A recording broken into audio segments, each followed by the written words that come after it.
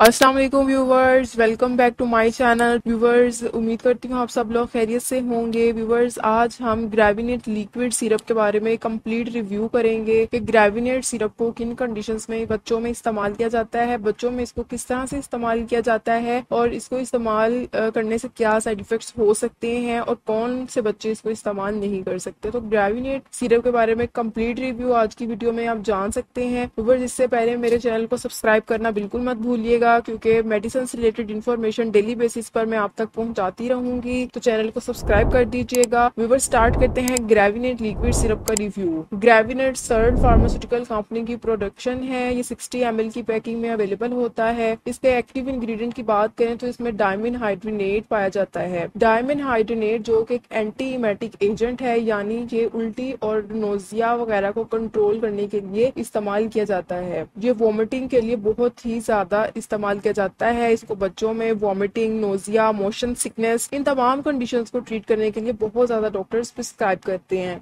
अगर हम बात करें कि इसको किन कंडीशंस में इस्तेमाल करना है तो व्यूवर्स इसको आप बच्चों में वॉमिटिंग की कंडीशन में इस्तेमाल कर सकते हैं। उसके अलावा इसको, क्योंकि ये एंटीमेटिक एजेंट है तो इसको हम नोजिया यानी मतली वगैरह में इस्तेमाल कर सकते हैं, उल्टी वगैरह की कंडीशन में इस्तेमाल कर सकते हैं। मोशन सिकनेस में इस्तेमाल किया जाता है। उसके अलावा अगर हम इसके यूजुअल डोजेज की बात करें कि इसका डोजेज क्या है, बच्चों में इसको आपने किस तरह से इस्तेमाल करना है तो बच्चों जो दो से छः साल के बच्चे हैं, उनमें आपने बारह शरिया पाँच से 25 एम जी यानी 4 to 8 M L two to three times daily देना है और 6 से 12 साल के बच्चों में 25 से 30 एम जी देना है, दो से तीन मरतबा डेली या फिर अपने डॉक्टर से रिकमेंड करवा के। ठीक है, ये चेरी फ्लेवर में अवेलेबल है और ये बच्चों के लिए बहुत ही ज़्यादा इफ़ेक्टिव है। ये 12 साल तक के बच्चों में आप इस्तेमाल कर सकते हैं। अगर हम इसकी डोजेज फॉर्म्स की बात करें तो ग्रेविनेट जो है, ये लिक्विड सस्पेंशन जो मैं आपको बता रही हूँ, इसमें आता है सिरप में और